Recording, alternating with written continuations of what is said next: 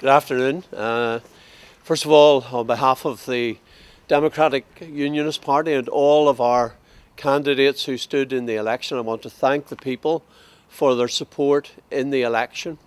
Uh, the DUP, uh, in terms of our vote uh, and the number of seats that we held, uh, has maintained a very strong mandate uh, within unionism.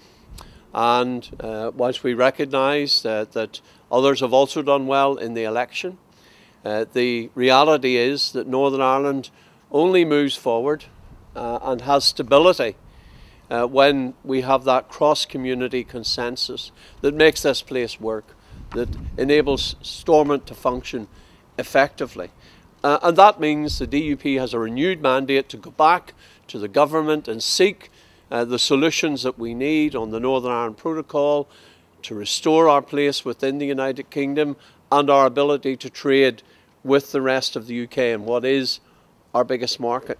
I regard it as a mandate to get the job done, to get Stormont restored on a stable foundation, uh, and to ensure that Northern Ireland's place within the United Kingdom, and let's be clear, the majority of people of Northern Ireland still want us to be part of the United Kingdom. That needs to be respected and protected in law, and that is our objective. The Northern Ireland Protocol undermined our position in the UK without the consent of the people. Uh, it undermined our ability to trade with the rest of the United Kingdom. We want to restore and resolve those issues and to get this place functioning on a stable, sustainable basis. Our team here at Stormont, together with our parliamentary team, will continue to work on the wider politics. Uh, and I believe the mandate we've been given in the council elections is a mandate to finish the job.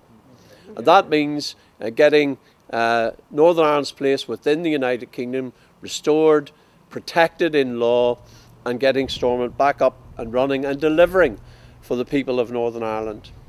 And just to repeat, progress in Northern Ireland is only made with the support of unionists and nationalists. Whatever changes have taken place during the election, that reality remains a constant. It remains the same.